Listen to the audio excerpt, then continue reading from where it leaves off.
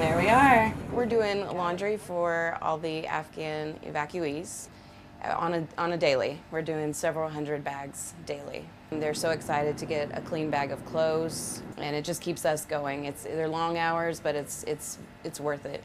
We assign each family a bag, um, and it has their name and number on it.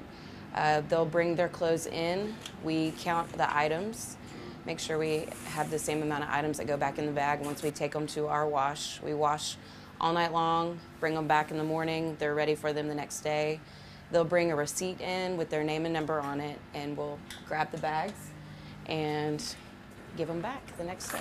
The necessity of clean clothing is, is just brings joy. I mean, no matter where you are.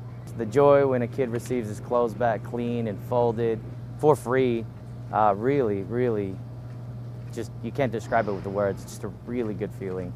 I have a team of roughly 50 receiving, doing, and giving back the laundry. Uh, it is long hours, but the payoff really is in the smiles when, when the guests receive their laundry back. I would say the amenities being offered are that of a five-star hotel. It's very rare you would check into a hotel and have your laundry clean, folded, and returned to you. Uh, that's just top-notch service. I've learned a lot that I didn't know, especially from uh, the evacuees that can speak some English. Um, they've told me what it's like in their country and, and coming here and the differences. And um, it just makes you feel like you're making an impact um, on their daily lives just to have fresh clothes.